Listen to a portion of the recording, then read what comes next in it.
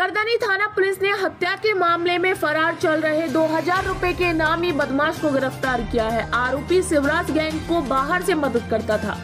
DCP Bandita Rana ने बताया कि 10 नवंबर 2022 को नागल जैसा बोरा करदानी निवासी सतिंग सिंह ने थाने में मामला दर्ज करवाया था, जिसमें बताया गया कि 9 नवंबर को उसके भाई बीरेन सिंह का फ़ोन आया था, जिसने तुरंत लैंड डेंटल क्लिनिक के पास आने के लिए कहा। निर्मल बिहार में फायरिंग है, उनके साथ सरिये चाकू तलवार हथौड़े से मारपीट की गई। इस पर मैं क्लिनिक पहुँचा तो उसका भाई लहू लुहान हालत में रोड पर गिरा हुआ था।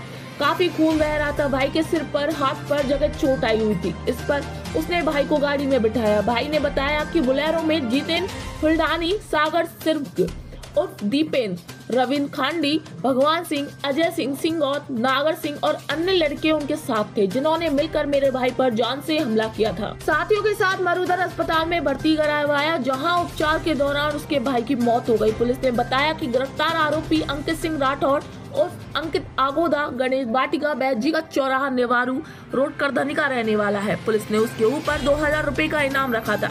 पुलिस ने बताया कि इससे पहले घटना में शामिल बलदीप सिंह राठौड़ और सोनू विजय सिंह और सन्नी, दीपेंद्र सिंह शेखावत और सागर सिंह।